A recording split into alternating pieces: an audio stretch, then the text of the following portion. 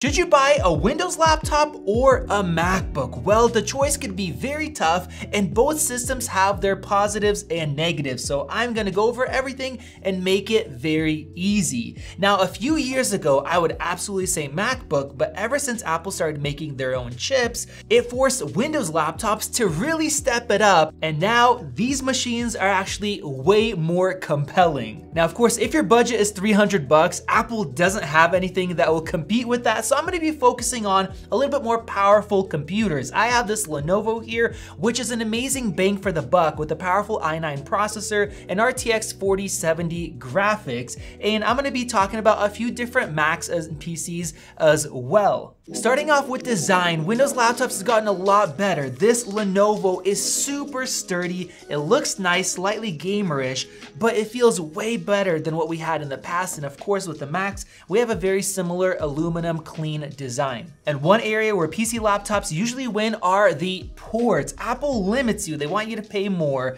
whereas most Windows laptops have USB-A ports still, and this one has a bunch. It even has them in the back so you can get them out of the way so connectivity is better. Now with that, Windows laptops sometimes have smaller batteries, but they are getting better and this Lenovo has a 99.9 watt hour battery, which is the maximum you could put on an airplane. And because of that, the battery life can be better, but with that as well, we have this massive power brick compared to the small ones on an Apple MacBook. Now that is because more powerful Windows laptops use a lot more wattage and they need that power and we'll talk about performance on battery in just a bit. You also typically get better bang for the buck because this thing comes with a terabyte of SSD, 16 gigs of RAM compared to MacBooks where you have to pay extra and Apple rips you off like crazy. And what I love even more about Windows laptops are that many of them will let you upgrade them them and some just have extra slots. So for example, here for about 50 bucks, I can add 16 more gigs of RAM and pop it in, leaving the original one there. And same thing with the SSD. There's an extra slot so I can pop it in myself. And for about 50 bucks, make it a two terabyte, whereas Apple will charge you an arm and a leg for their upgrades. And then it's all soldered in so you can never change it later. You might just have to sell your machine to get one that has more performance. Now the SSD SSDs are also very fast on the new Windows laptops, whereas in the past, MacBooks used to be much faster. But one area where I've noticed a big difference is in real world transfer speeds, where the whole system really slows down compared to using the same drive on a Mac. With that, another cool thing Windows laptops allow you to do is to use eGPUs like this one from our partner SGW Zone. This eGPU is very unique because of how tiny it is compared to the huge eGPUs most people are used to that have to stay at your desk. We have the 3D printed prototype, whereas the final will be aluminum, and they will also provide an Oculink module. The reason it's so small is because it uses a GAN power supply with 240 watts of power, meaning you could take it with you anywhere to upgrade your thin laptop for better gaming, rendering, and AI computing. Inside, we have an AMD RX 6600M, which beats out the M3 and can improve your thin laptop's performance, and an NVIDIA RTX 4060 and 3070 will be available. All you do is plug in with Thunderbolt and you get a Thunderbolt, USBs, and display outputs with 8K60 and 4K 120 support, plus this customizable LCD screen, which is a first for an eGPU. It is universal and also less expensive than other eGPUs, so check out this thin gaming and AI box by using the link down in the video description. As for displays, MacBooks are better most of the time, especially the higher end ones that have mini LED screens. Now you can get OLEDs on Windows laptops and those are nice, but they're still very reflective. So in the daytime, the blacks can actually look more gray than the MacBook. And this Lenovo has an LCD display. They've gotten more accurate over time, but it is a matte display and it makes it look less sharp, even though it has good resolution.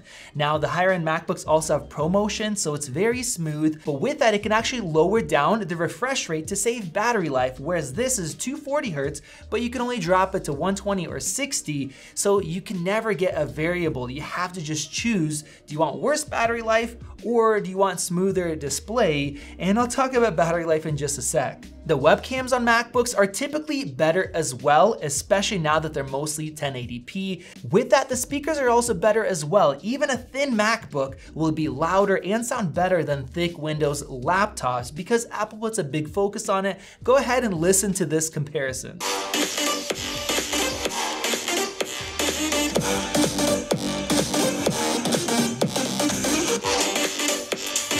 Now, one area where Windows laptops exceed are the programs that are compatible. Mac supports less, and there are some exclusives like Logic and Final Cut, but on the Windows side, DaVinci Resolve is so good now, it's actually better, and there are uh, certain programs that just don't run on a Mac. Same thing with games. If you want a game, the Windows PC is definitely the better way to go. Getting into downsides, we have to talk about fan noise and temperatures. Macs like to run hot because Apple wants them to be quiet, whereas Windows laptops, the fans could be running just by turning on a program or opening the laptop. And for higher performance ones like this Lenovo, they have great cooling systems. And to get the most performance, you have to be in performance mode. And then they sound like a jet taking off because they can use up to 80 watts of power on the system compared to 22 watts on an equivalent Mac. Now, as far as performance, they are actually not too far off when you're comparing to similar price points. Intel has made processors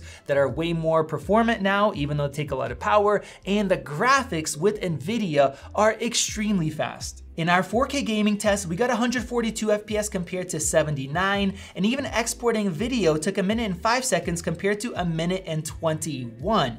And then in raw graphics performance, it gets 16 FPS for denoising compared to 9.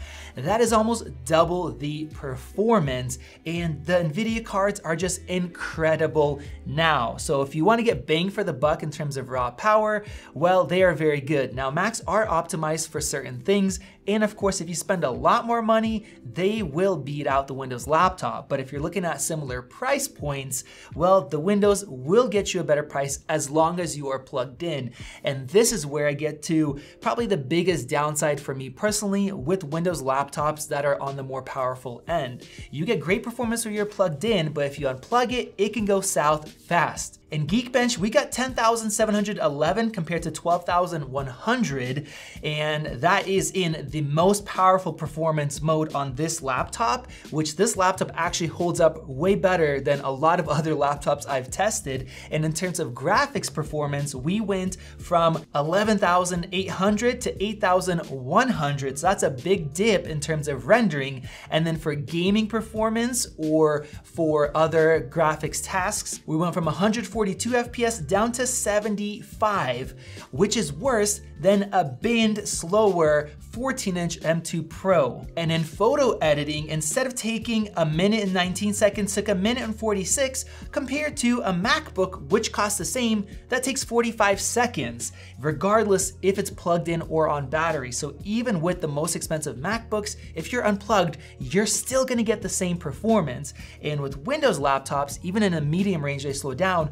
But if you looked at a $4,000 Windows laptop, for example, a Razer Blade with the OLED screen, that thing dumps performance even more than this one. So if you like to use your laptop unplugged on the go on an airplane, well, the Mac is way better. And this is where we have to get into battery life. The M3 Max 16 inch got over 17 hours compared to nine hours with an equivalent Dell XPS. Even with a large battery, that just shows you guys the difference. And that is in balance mode where it will try to save power. Whereas on the Mac, you just leave it in auto. If you need the performance, it'll give it to you, or it could save battery. Now, it gets way worse if you really start pushing the system. That XPS will last two hours compared to six on the MacBook, and because it's unplugged, it will be a lot slower as well. With this Lenovo, I was at about 50% battery, and just having the system on gave me a little more than an hour, and then when I started doing some photo editing, it showed me 35 minutes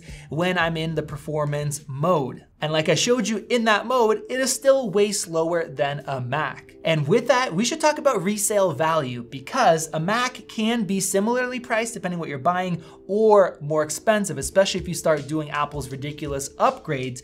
But in the long term, people are still selling 10 year old MacBooks, five year old MacBooks, and getting a good amount of money for them, where it is so hard to sell a Windows laptop after the first couple of years. Trust me, I sell these machines after I test them and use them, and it is so hard to sell, and you get barely anything. So, in the long run, a Mac can actually be cheaper.